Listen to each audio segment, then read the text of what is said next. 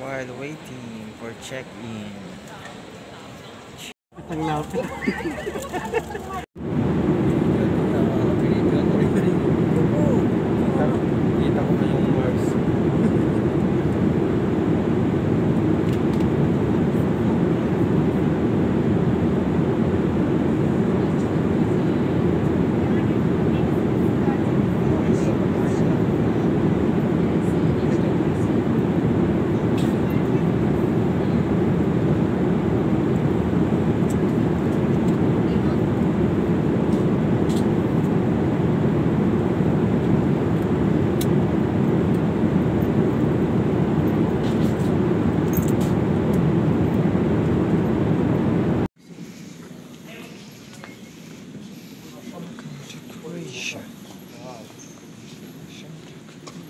At sarap butaan mo sa basketball.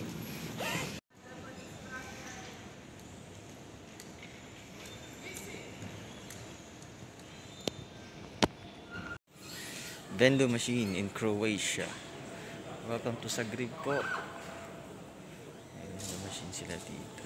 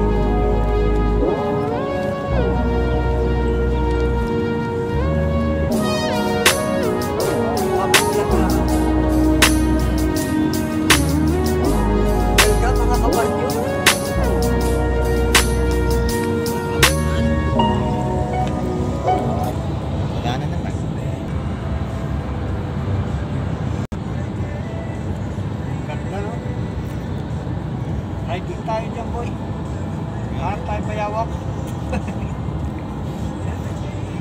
Mayawak kaya dyan? Butiki.